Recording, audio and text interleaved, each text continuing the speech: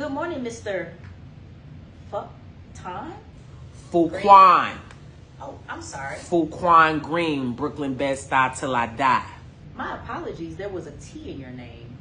Yeah, yeah, yeah. The, the T is quiet and shit like shh. You mean silent? Yeah, silent, quiet, Oh, same well, anyways, thing. I'm Dr. Dogood.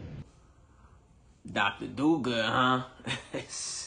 what you do good? Shit. Excuse me? I mean, you said your name was Dr. Do Good. I'm just assuming you be doing shit good. How about we get into what you came in here for today?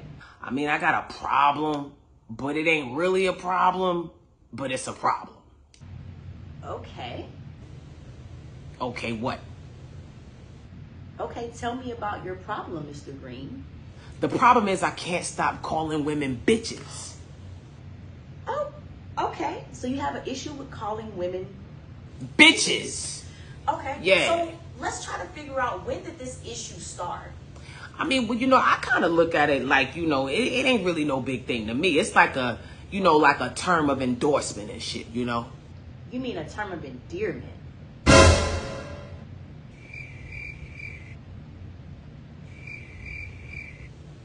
Are you confused? Nah, I, I, ain't, I ain't confused. I just, you know, I feel like you fucking with me a little bit. But yeah, you know, a, a term of endearment, you know, that's that's what I meant, I guess. No, Mr. Green, I'm not fucking with you. I'm simply trying to get to the root of why you have an issue with calling women. Bitches! Yeah. Yeah. Can you tell me a little bit about your parents? my my pops, you know what I'm saying, he was a pimp. You know what I mean? And my mom, you know, she was kind of like the like the assistant pimp and shit. You know what I'm saying? My pops, you know what I'm saying, they they called him Go Getter. You know what I'm saying? But his real name was Clyde Green. You know what I'm saying? They called my mom Toots.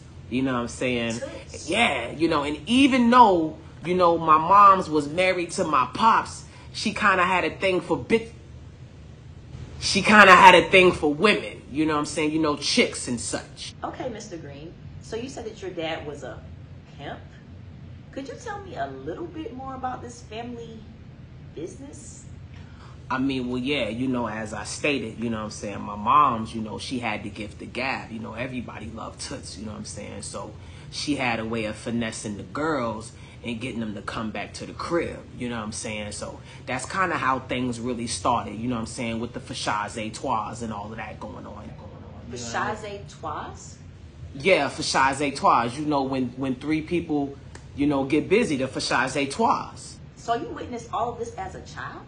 I mean, yo, Doc, you know what I'm saying? When you growing up in the projects, you know, hood kids, we see a lot of shit, you know what I'm saying? As a shorty, I saw a lot of shit. You know, one time I saw a crackhead pick a pigeon up off the street and eat that motherfucker alive You saw him eat the pigeon alive? all the way down to the ass.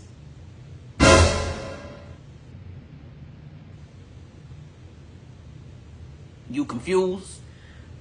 Confused? No. Gross out? Absolutely. Word. I mean, so you could see how that type of shit could have a shorty like me, like, tranquilized. You know what I'm saying?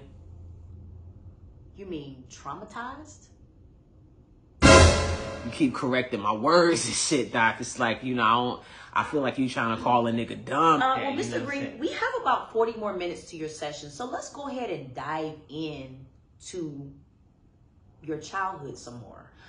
Alright, so boom. So check it. So like I said, moms and pops, they was tripping and shit. You know what I'm saying? Getting bitches back to the crib and all that type of stuff. And shit was just wow.